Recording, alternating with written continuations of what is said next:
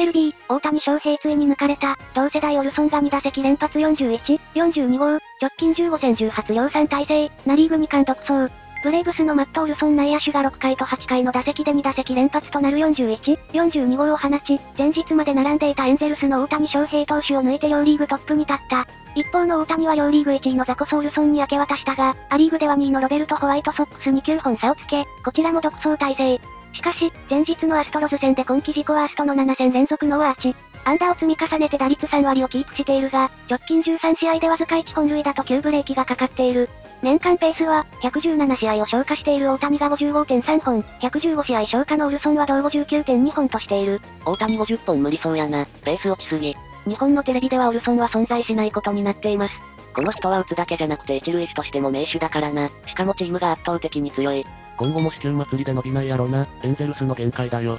前半戦と後半戦の差が激しい。二刀流の弊害？強いチームで良いバッター多く敬遠も少ないから有利やなて、リーグ違うやん。もう40本打ってるのに何の文句があるやら。こちらはプロ野球チャンネルです。